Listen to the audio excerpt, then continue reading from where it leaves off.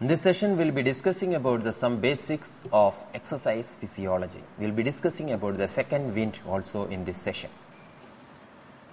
This session will be especially will be discussing about the different energy system, a brief idea about the different energy systems of the body. We will be discussing about what is lactate threshold and oxygen deficit and debts. Again, will be the next thing we are going to discuss about uh, here is the air regarding aerobic and aerobic exercise.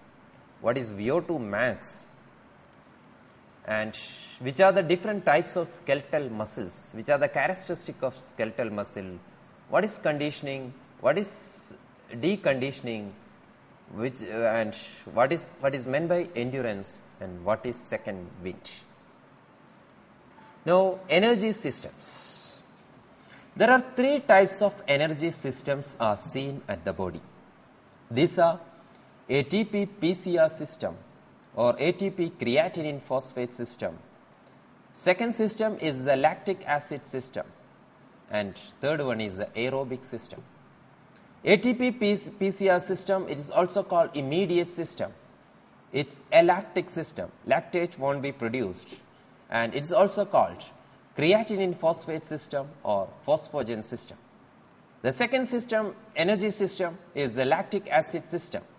It is the anaerobic glycolysis system. Here glycolysis occurs, but it's anaerobic glycolysis.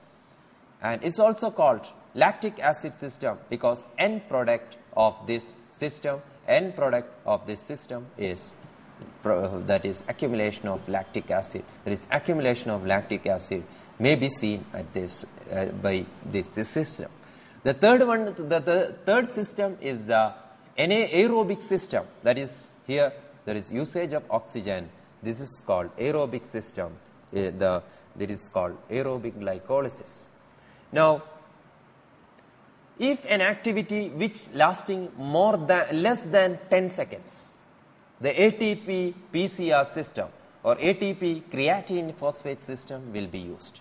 That is, if a very short movements, a very fast and short movement, the system used will be ATP PCR system or ATP creatinine phosphate system for up to a few seconds, even maybe up to 10 seconds.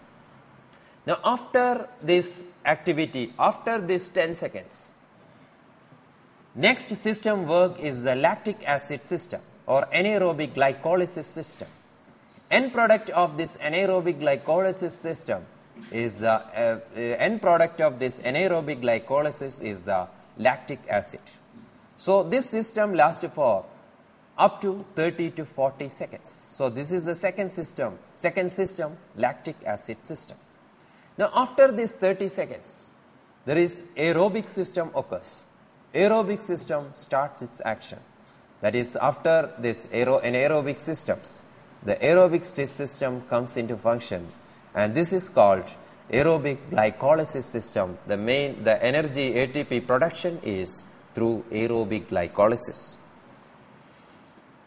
Now, lactate threshold. So, lactic acid we already discussed there is a system called a lactic acid system or there is a lactic acid system or a short term system. So, that is the anaer here the anaerobic glycolysis occurs and there is end product is a lactic acid.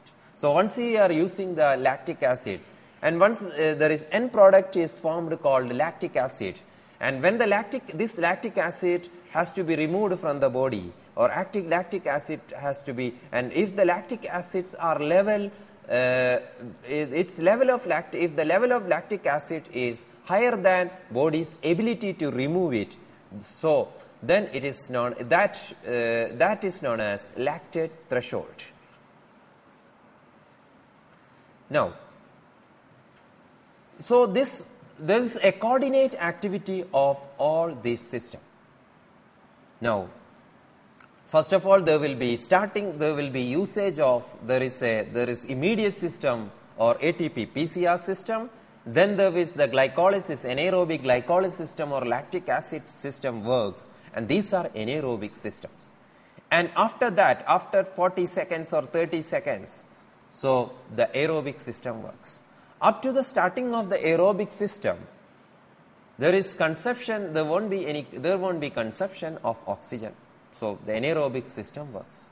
Oxygen deficit uh, uh, represents the difference between the total oxygen consumed during the exercise an amount that would have been consumed has a steady rate of aerobic metabolism occurs immediately when the exercise begins.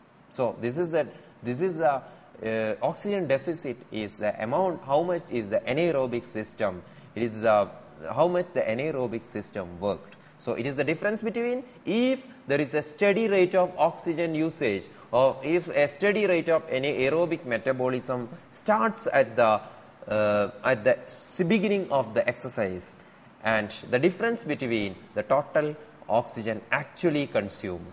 This difference is known as oxygen deficit. There is another term called oxygen debt usually used. This is also called uh, this is the extra volume, this is the additional oxygen that must be taken into the body after a vigorous exercise to restore or to rest, uh, restore all the system to their normal state. This is called oxygen debt. Now, another term commonly comes is the aerobic exercise. Aerobic exercise means it refers to the exercise that is moderate with moderate intensity intensity undertaken for a long duration where there is usage of oxygen is there. It's this type of exercise is called aerobic exercise. The exercise is of, will be of moderate intensity and it is for a long duration. Example is running, swimming, jogging, walking, stair climbing, etc. According to American College of Sports Medicine, any activity uh, aerobic, ex, aerobic exercise is they define aerobic exercise as any activity that uses large muscle groups which can be maintained continuously and in a rhythmic nature. This, these are called aerobic exercise. Aerobic means use of oxygen. So, aerobic exercise are the exercise which is done uh, by the usage of oxygen which where the especially the glycolysis, the aerobic glycolysis occurs and these are exercise of moderate intensity for a longer duration. Example, running, swimming, uh, jogging, walking, stair climbing, etc. are considered as aerobic exercise. So, what are the benefits of aerobic exercise? It increases the maximal oxygen consumption. It improves the cardiovascular and cardiorespiratory functions. So, aerobic exercise improves cardiovascular and cardiorespiratory functions. It increases the maximal cardiac output. It increases the blood volume and oxygen carrying capacity. It, it, uh, it decreases the workload of uh, heart for a given submaximal exercise intensity. So, it increases the maximal cardiac output, it increases the blood volume and decreases the workload of heart. It increases the blood supply to the muscles and ability and ability to use the oxygen. So, blood supply to the muscles will be increased and ability to the use of oxygen by the muscles also increases by aerobic exercise. It lowers the heart rate and BP at any level of submaximal exercise and increases the threshold of lactic acid accumulation. So, as the threshold of lactic acid accumulation has increased, so the lactic acid, so it won't, it cause, it doesn't, it won't cause fatigue. So there is less chance of fatigue as the lactic acid accumulation is increased. So then there is, it causes a lower resting systolic and diastolic BP with people with high BP. So, aerobic exercise is uh, has to be recommended for peoples with high BP and it increases HDL cholesterol, it decreases blood triglycerides and it decreases the body fat and improved weight control, uh, in, improved weight control. So, decreases the body fat aerobic exercise can decrease the body fat and increase the weight control and it improves the glucose tolerance and decrease the insulin resistance. Another term usually comes uh, while we go through the uh, exercise physiology books or exercise physiology is the VO2 max. VO2 max is the cardiac output into arteriovenous uh, difference. Now, the importance of VO2 max. VO2 max is an index for the maximal cardiac, cardiovascular and pulmonary function. It is the single most, single most useful measure, measurement to characterize the functional capacity of the oxygen transport system and is a limiting factor in endurance performance. Now, which are the factors which determine VO2 max? There are some peripheral factors and central factors are there. Peripheral factors include muscle blood flow, capillary density, oxygen diffusion, oxygen extraction, hemoglobin oxygen affinity and muscle fiber profiles. These are the peripheral factors which determines the VO2 max. There are some central factors like cardiac output, arterial pressure, hemoglobin, ventilation, oxygen diffusion and uh, alveolar ventilation perfusion ratio. These are the some central factors which determines the VO2 max. Now, which are, there are some factors which affecting the VO2 max. It includes the gender, gene, uh, genetics, body composition, muscle mass, age, any pathologies, any diseases. There are some extrinsic factors also like activity level, activity level of the person and time of the day of activity whether it's the morning, whether it's the evening, whether it is the night. Next is sleep deprivation. Dietary intake also affects the VO2 max. Nutritional status of the person and environment also affect the VO2 max.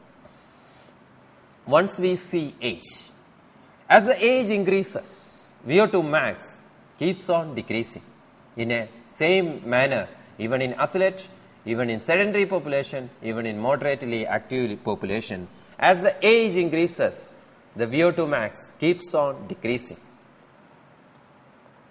And once we see the gender, males is having VO2 max more, but still as the age increases, VO2 max keeps on decreasing, women is having less VO2 max. Now, in case of in, in case of uh, any injury, there may be chance of bed rest, and bed rest also affect the VO2 max. As the bed rest, the days of the bed rest increases, VO2 max keeps on decreasing.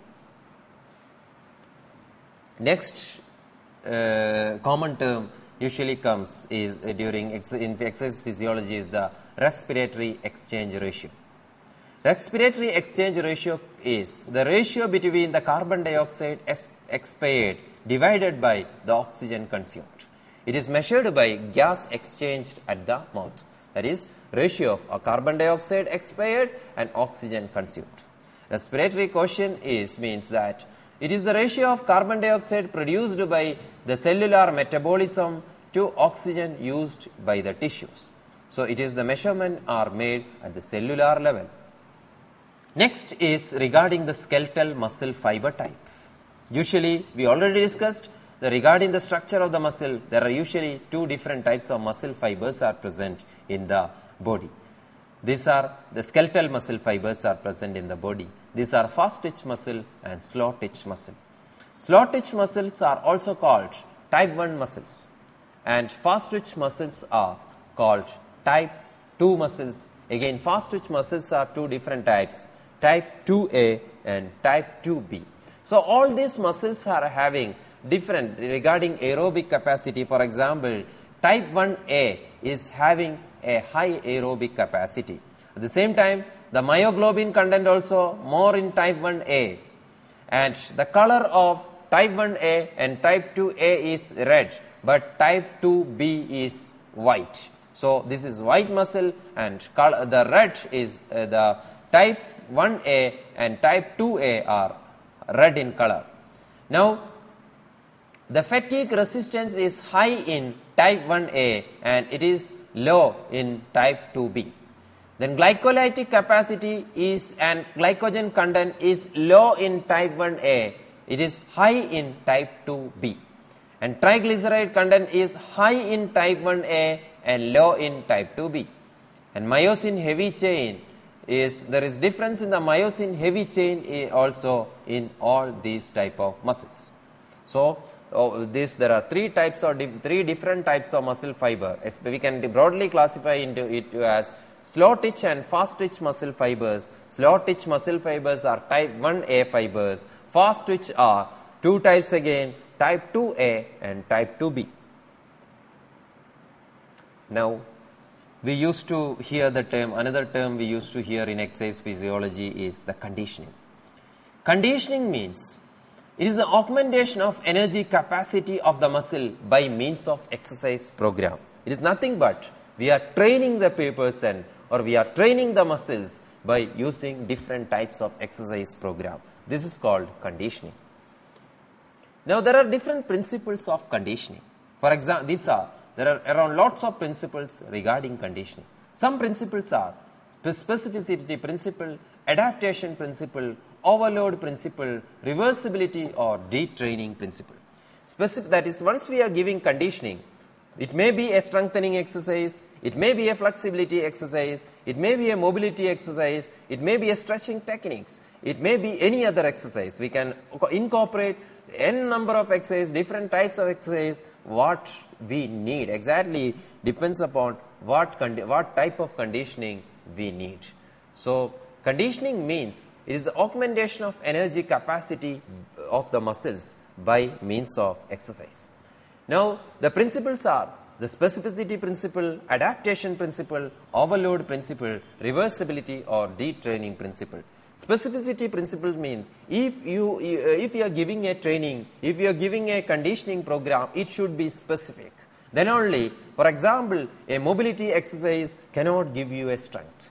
A strengthening exercise cannot give you mobility. So that is called specificity exercise. For example, if you want to do, if you need range to improve the range of motion, you have to go specifically the range of motion exercise. If you need the flexibility of the muscle, a strengthening program cannot help you to improve the flexibility of the muscle. It, you have to go for stretching or the exercise which is specific to the flexibility to improve the flexibility. And uh, for example, if you are going to give, if you want to improve your strength, if you want to improve the strength of a muscle, you have to specifically you have to go for the strengthening program. There is no other way. There is a stretching does not improve your strength. This is known as specificity principle. Second principle is the adaptation principle. Whenever you are giving a stimulus, it get there will be adaptive changes will be there. This is called adaptation principle. Now overload principle. Once you are giving a load, there will be adaptation, there will be changes, there will be response. According to the response, there will be changes. And if you are keeping the same adapt same stimulus for a long duration of time, there won't be much changes. In order to get more changes, you have to overload. For example, if you are giving a strengthening exercise, strengthening with 2 kilo of weight, and if you are there will be a response from the there will be a changes or adaptation from the uh, muscles now if you are giving the same 2 degree uh, 2 kilo there won't be again there won't be more there won't be more changes so in order to improve your in order to improve more in order to increase more strength you have to increase the weight you have to overload. Then only there will be change. This is called overload principle. Now reversibility or detraining principle. For example, if you are training for a long duration of time and, the, and if you are stopping your training, there is chance of deconditioning or detraining or reverse. This is called reversibility. So, this reversibility has to be avoided the proper training program. Now, for example, if you are training for a long period of time and you are taken a rest, you got an injury or you are in prolonged bed rest. So, whatever the training we have done, its effect will go off. So, once if there is a prolonged bed rest, all the effect of training will go off. This condition is called deconditioning. So, there will be decrease in the muscle mass, there will be decrease in the strength, there will be decrease in the cardiovascular function, there will be decrease in the total blood volume, there will be decrease in the plasma volume, there will be decrease in the heart volume, there will be decrease in the orthostatic tolerance, there will be decrease in the exercise tolerance and there will be a decrease in the bone mineral density. So, whenever you are doing, if you are doing a prolonged bed rest, so this all the activity, all the all the effects which you have done by the conditioning will go off and this condition and this, uh, this condition is known as deconditioning. Next term we used to discuss in exercise physiology is the endurance. Endurance can be defined as ability for a ability to work for a prolonged period of time or we can define it as ability to resist fatigue. Now once we are endurance in common term we, we call its endurance as stamina. That is there are two types of endurance are there. The first one is muscular endurance, second one is cardiovascular endurance.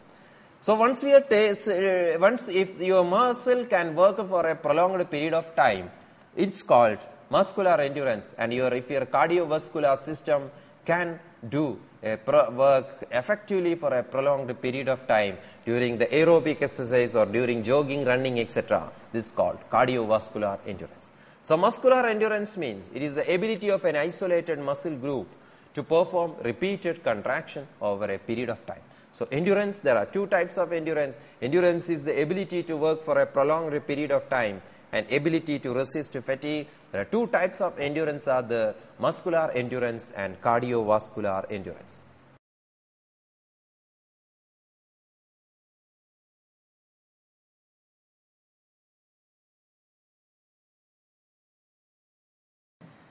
Usually, once you are doing a prolonged period of running, a prolonged running, especially distance running, for example, marathon or road running, whatever. When the athlete become tired, he become out of breath, he suddenly find a strength and press upon its top performance with less ex exertion. This is known as second wind. That is, it is a phenomenon in distance running where the athlete who is too out of breath and tired to continue, continue suddenly find a strength and to press and goes its, its top performance with less exertion. This is known as second wind. Some researchers are saying that it's only, it is purely psychological. But some researchers are saying that second wind is, a, is the result of body, find, body finding the proper balance of oxygen to counterbalance building up of lactic acid in the muscle. Other researchers are claiming that the second wind are due to endorphin, uh, endorphin production. So anyway, the second wind is the person suddenly find a strength and reaches his top performance once he is is out of breath. This is called second wind.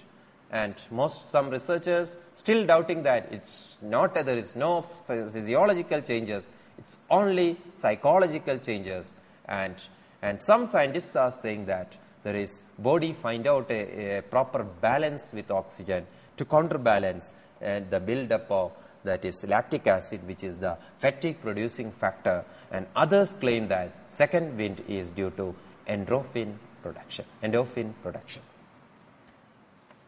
So we we have uh, we already discussed through the diff, uh, we have already discussed some basic terms, some basic terminologies which come across once you read, once you go through different exercise physiology books.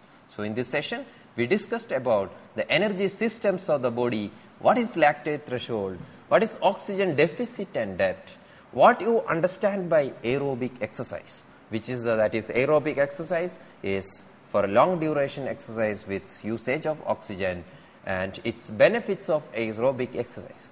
Then we discussed about the VO2 max. What is VO2 max? Which are the factors which affecting VO2 max? What and we discussed about the different muscle fiber types. What is conditioning? What are the principles of conditioning? And what is what do you understand by deconditioning? And what is second wind. Thank you.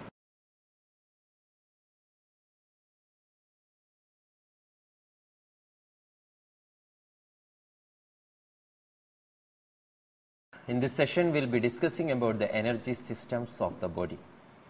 Before we start the energy system, the one of the most common law of thermodynamics, that is law of conservation energy. All of us know that law of conservation energy states that energy cannot be created or destroyed.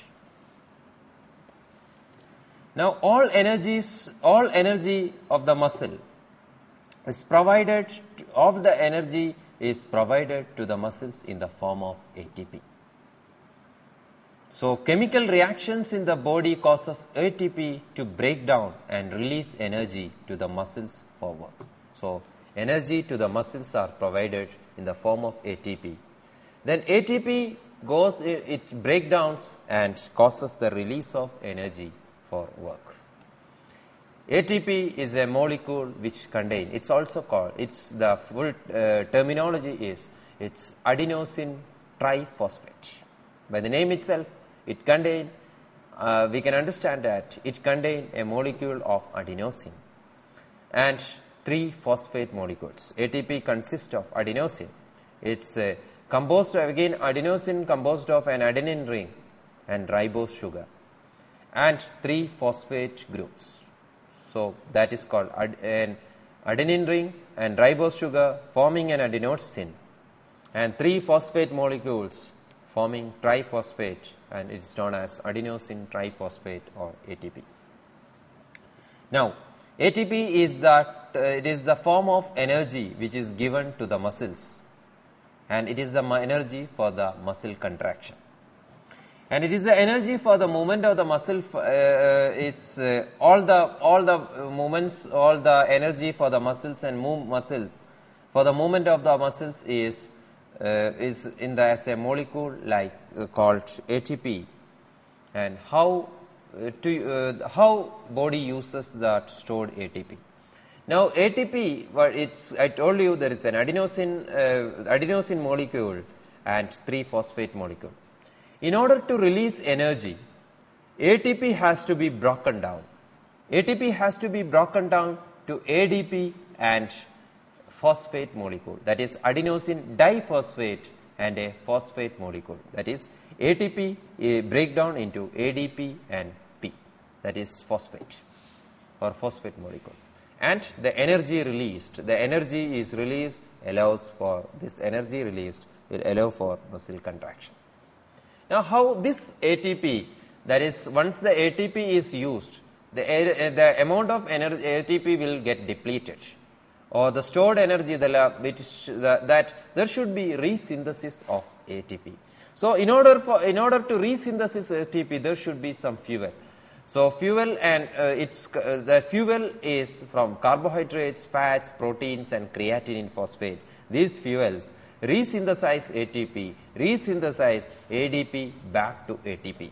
These fuel source, uh, sources resynthesize free phosphate molecule back to ATP. So free uh, uh, phosphate molecule and ADP joins together and forms the ATP. Now, resynthesis of ADP back to ATP. That is, first of all, uh, adenosine AD- ADP with the help of it, or we already discussed how it is getting resynthesized. That is, ADP is with the help of carbohydrate, fats, proteins, or creatinine phosphate. ADP attached with the uh, phosphate molecule and gets the ATP. Now, once we are doing movements, there are different ways we does the movement. We may do the movement in a quick, powerful way, or we may do in a grace the movement in a grace coordinated way. And the movement may be a movement sustained for many hours. Now, and everything is depends upon the capacity to produce energy. So there may be the person, maybe even in sports also, there may be, once we correlate with this movement with the sports also, there will be quick and powerful movement. There will be coordinated, graceful movement. There will be sustained movement for many hours. So three ways human moves. Now, quick movements which last for a few seconds. There will be uh, there will be movements with coordinated reduced speed movement which last for a few minutes or several minutes and there will be a reduced intensity movements which last for several hours for each activity the body uses different types of energy systems. Now all these activity if it is a fast um, activity or if it is a coordinated with slow speed movement or if it is a coordinate if it is a long lasting movement all for all these movements energy is required and it is supplied by some energy systems of the body. Now energy systems of the body there are three types of energy systems. This already we discussed once we discussed the introduction. Once we discussing the once we were in uh, doing the introduction. So there are three types of energy systems are commonly seen in the body.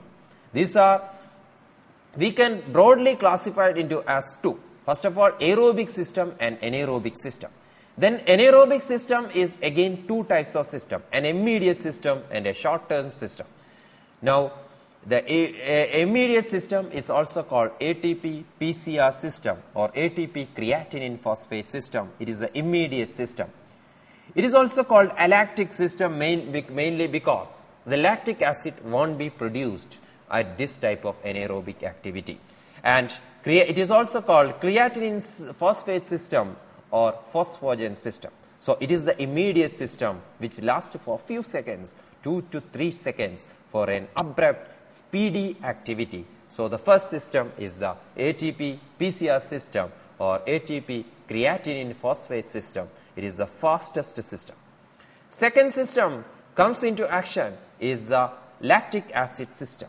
It is also called, it is anaerobic system. It is anaerobic again, it is also called anaerobic glycolysis system.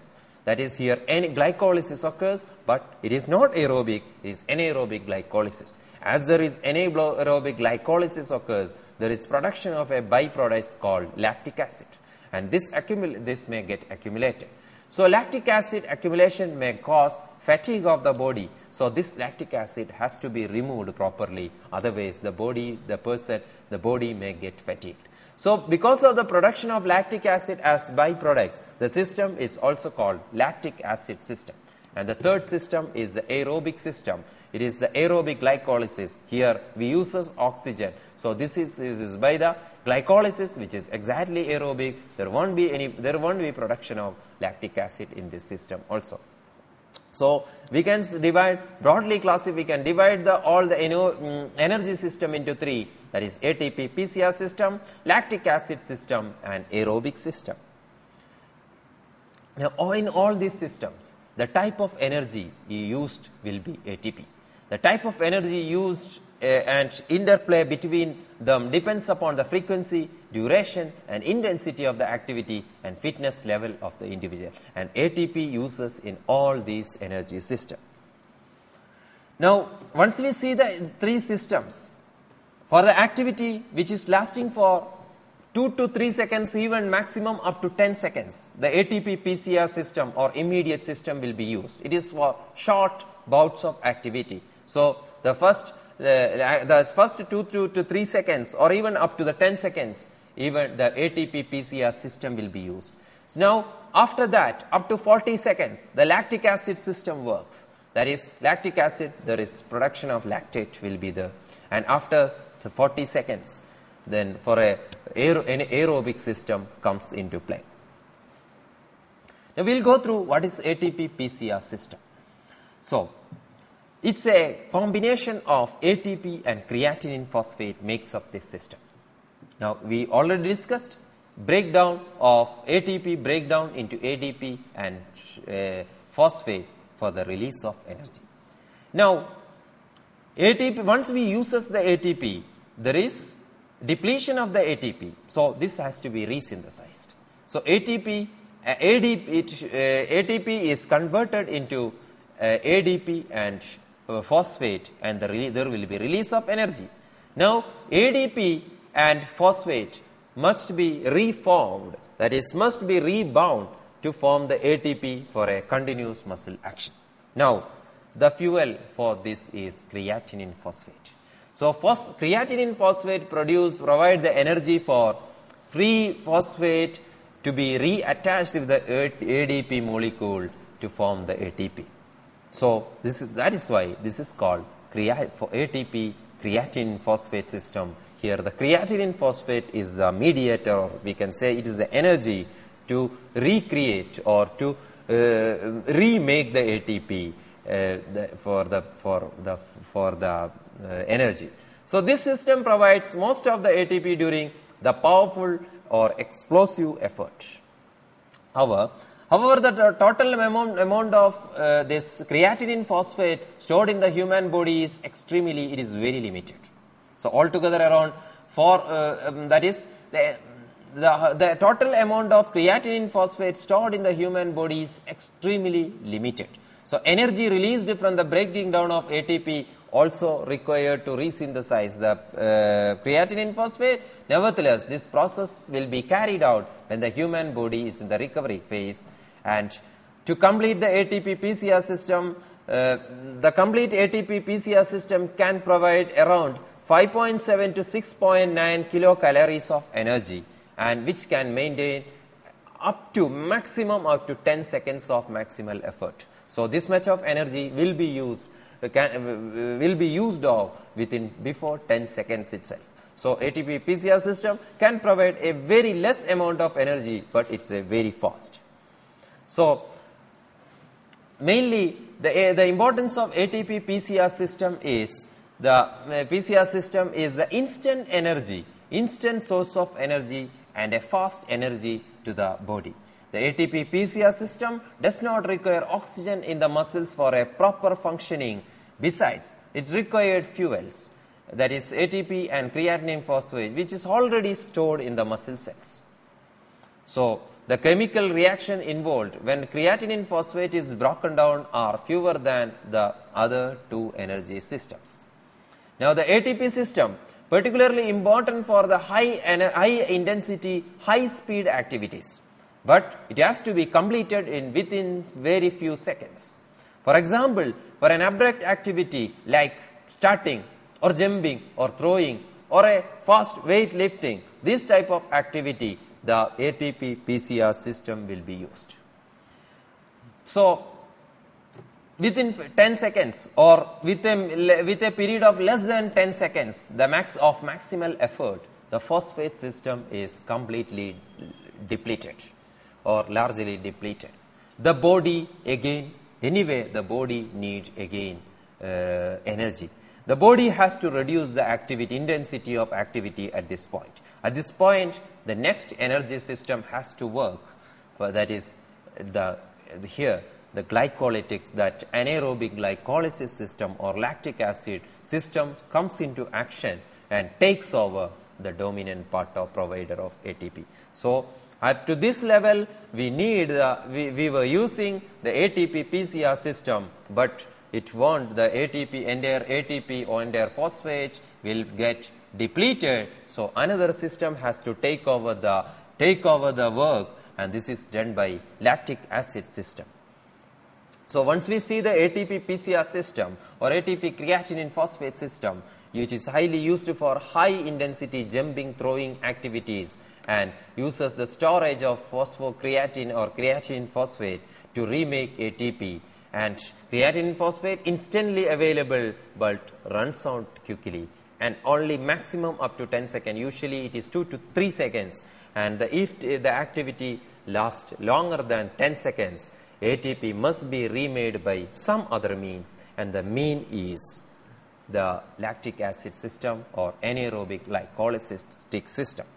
Now, the second system just after aerobic system, the immediate system or creatinine phosphate system is the anaerobic system. It is used for again for high intensity exercise near maximal effort. For example, if a person is running a 100 meter sprint or a 50 meter swim, this person he uses the immediate system then he uses the lactic acid system again the lactic acid system it's an anaerobic system and the byproduct formed in this lactic acid system is the lactic acid. Now, this lactic acid is the byproduct of this lactic acid system, but the production of the lactic acid, accumulation of the lactic acid causes, the researchers are saying that accumulation of the lactic acid causes the, uh, the causes fatigue.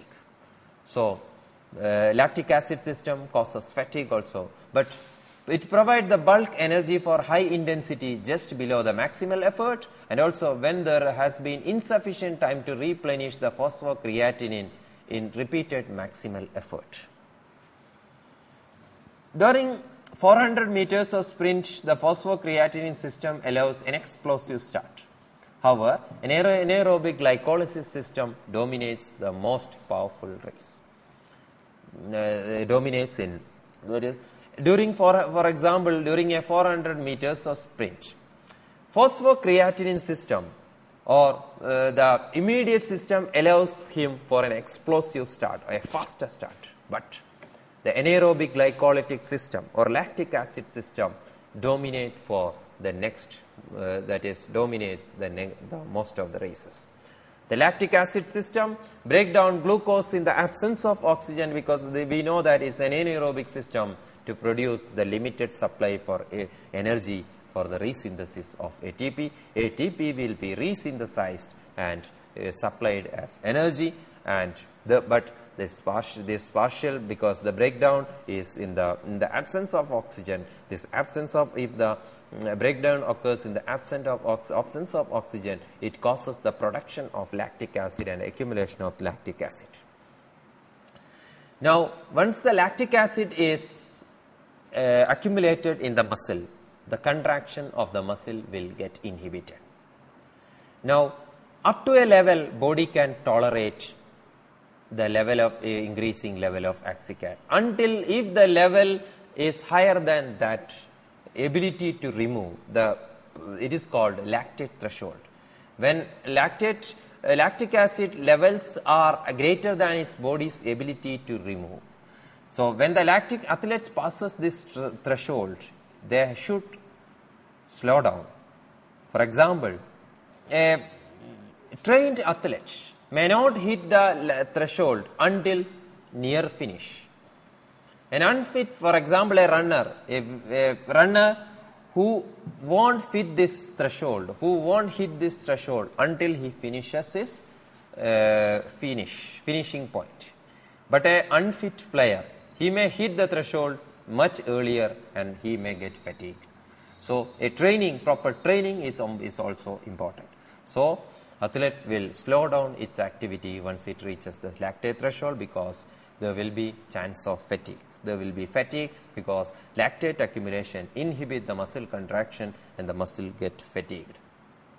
So, we already discussed the, regarding the lactic acid system, body uses stored fuel glycogen to remake that is, but it is in the absence of oxygen uh, and, uh, and it causes, uh, so what is happening is that the, there will be byproducts called lactate and hydrogen ion also released and it inhibit the muscle contraction. So, if the work is more than that, more than that, it, there may be production of lactic acid and it may cause produce fatigue. So, the body has to switch into another system where the lactate is not produced and the system is called aerobic system.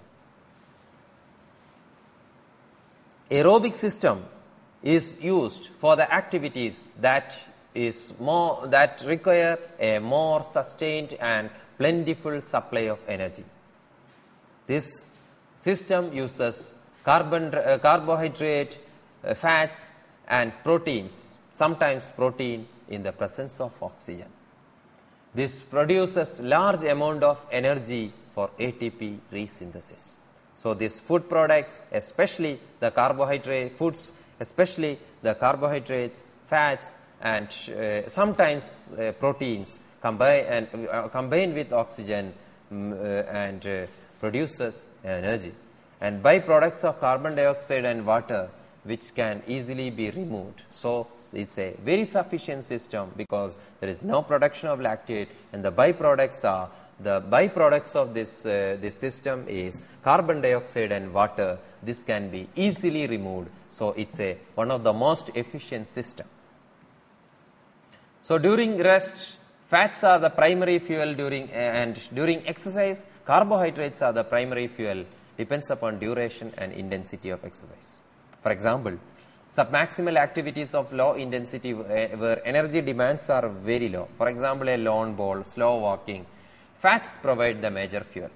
But submaximal or maximal activity with higher intensity, for example, running, swimming, intense team sports, etc., carbohydrates are major fuel. So, the fuel is different in the aerobic system. We will go through the go back to the aerobic system again. It is the system where we uses the we uses oxygen that is um, that is uh, aerobic glycolysis occurs and the one the byproduct is usually oxygen uh, carbon dioxide and water. So, this can be not like lactox act, uh, lact, uh, lactate or this can be easily removed carbon dioxide and water can be easily removed from the body. So, it is one of the most efficient energy system and the the uh, the energy used the energy used for this uh, the in this system is depends upon the fuel used for this system is usually carbohydrates and uh, fa- fats and sometimes proteins. And depends upon the activity intensity of activity and duration of the activity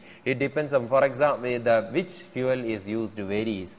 If it is a submaximal activities like slow ball slow ball uh, uh, if, if, uh, if it is a submaximal activity like slow walking or a lawn ball etc. In this case the, the energy used will be fat. Fat is the major fuel source. But in the, activ- in the activity like submaximal, maximal or submaximal activity of high intensity like running, swimming or intense team sports, carbohydrates are the major fuels as it's one of the most efficient system but there is some demerits. The main demerit of this system is it produces energy very slowly.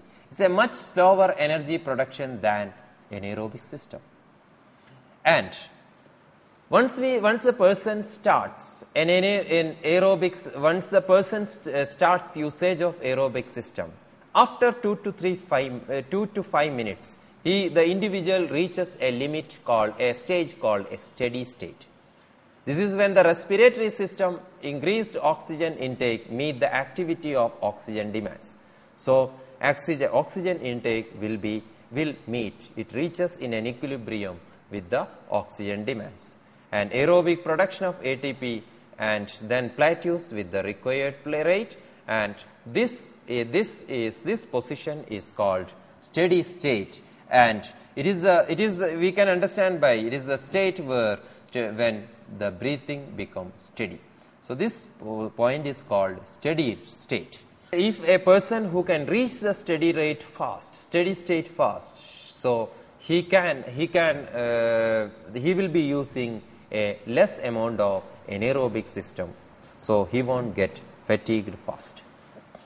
So once we see aerobic system it is used in longer submaximal activities like swimming running jogging cycling etc and there are plenty of oxygen is available to for the production of ATP and so and the carbon dioxide is all carbon byproducts like carbon dioxide and water will be removed. So there won't be any accumulation. So it does not even the accumulate there won't be any accumulation of lactic acid.